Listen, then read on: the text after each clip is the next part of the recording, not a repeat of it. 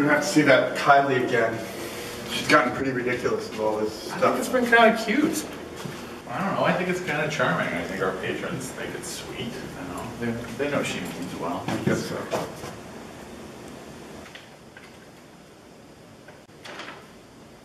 Good thing they're coming back on Friday. Yeah, it's gonna have to come down.